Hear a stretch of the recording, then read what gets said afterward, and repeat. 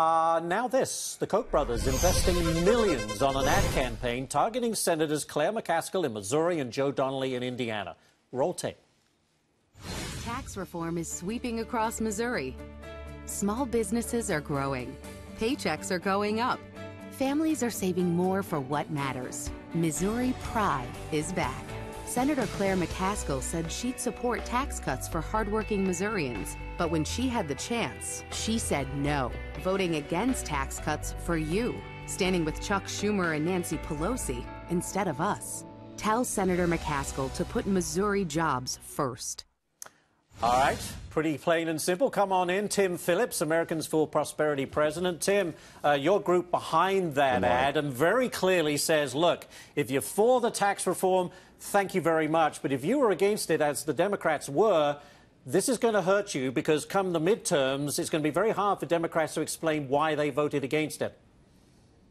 Absolutely. Senator McCaskill, Senator Donnelly in Indiana, really every Democrat, they said no to cutting taxes for the vast majority of Americans, including Americans struggling on the lower income ladder, middle class folks, and they chose partisan politics. They picked Nancy Pelosi, Chuck Schumer, instead of giving the families and small businesses in their states like Missouri and Indiana a tax cut. I think it's going to be a very difficult vote for them to explain. They're trying.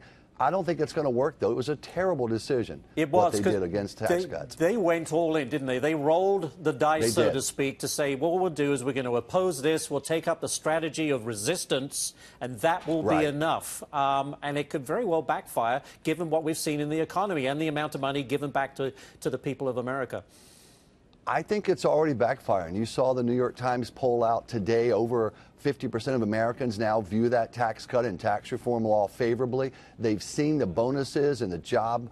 Uh, the jobs being created and the new economic activity, more money. Folks are getting their February paychecks, actually, and if there's more in there, this thing is absolutely going to backfire on these Democrats. And I, candidly, we hope they learn a lesson from this. They shouldn't choose partisan politics over cutting taxes and other good policies. Uh, the, the Tim, the Koch brothers also backing Tennessee Congresswoman Marsha Blackburn as she runs for the Senate seat.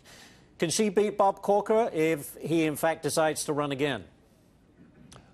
Marsha Blackburn is a champion on economic freedom issues, and we absolutely believe she's going to be the next senator from the state of Tennessee.